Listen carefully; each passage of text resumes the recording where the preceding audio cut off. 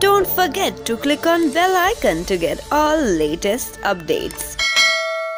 दोस्तों, आज हम आपको ऐसे इंसान के बारे में बताने वाले हैं, जिस इंसान ने अपने मेहनत से फ़िल्म जगत के साथ साथ राजनीति में अपने नाम का डंका बजाया है हम बात कर रहे हैं भारतीय फ़िल्म इंडस्ट्री के अभिनेता राज बब्बर जी के बारे में, जिन्होंने कई फ़िल्मों में काम करके उन फ़िल्मों को सुपरहिट करवाया है।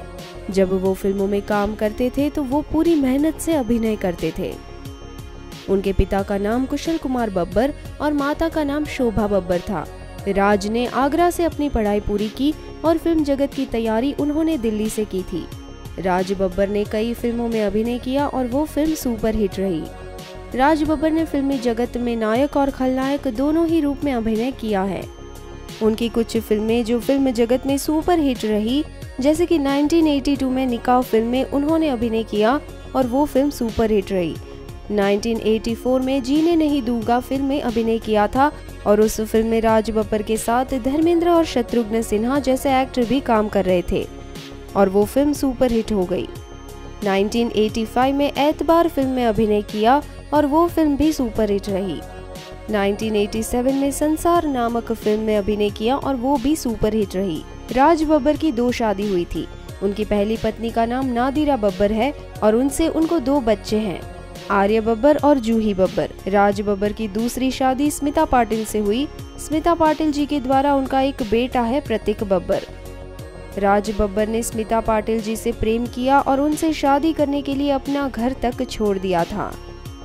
फ़िल्म जगत के साथ साथ उन्होंने राजनीति में भी अपना नाम का डंका बजाया है।